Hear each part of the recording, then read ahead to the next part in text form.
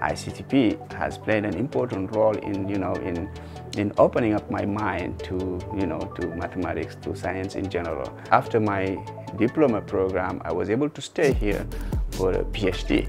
It was very important in my career because I was able not only to, to pursue my, to do my research in the area that I was doing, but also to meet many people, to have a good network of people that I can, I can work with in the future.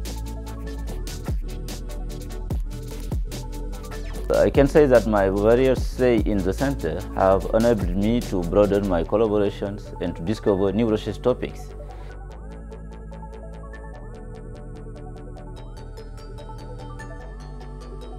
ICTP is, uh, is uh, one of the main places, I would say, in the world in which you know, people from developing countries can come uh, to stay uh, in a very good environment to do research.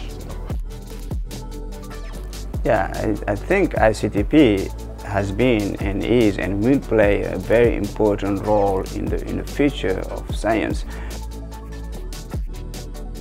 ICTP has helped me and has sharpened my scientific work and enhanced my, my career uh, by putting me under the international arena. Uh, without ICTP, I would not get there.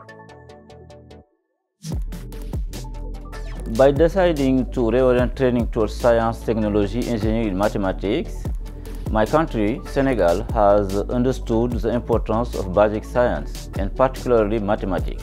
C'est pourquoi je tiens à rendre un hommage appuyé aux efforts que déploie votre centre pour créer l'émulation entre les jeunes mathématiciens des pays en développement en distinguant les meilleurs parmi eux.